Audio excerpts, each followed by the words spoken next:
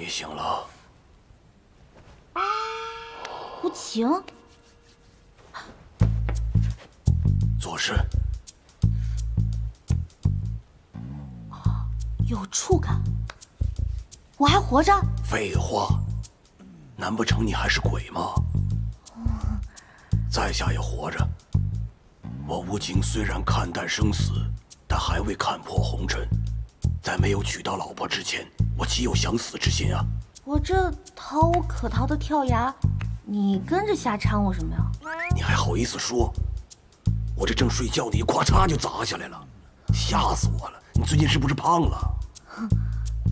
嗯，不过你在这儿干嘛呀？还不是因为在下有一颗悬壶济世的菩萨之心。闻听悠悠谷底有许多珍奇药材，在下便来采摘。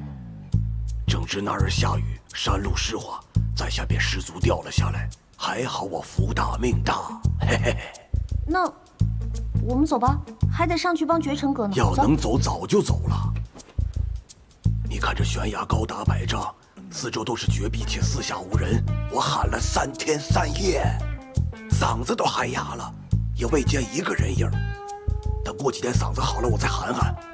不用接着喊了，跟着我，我有办法上去。什么意思？啊？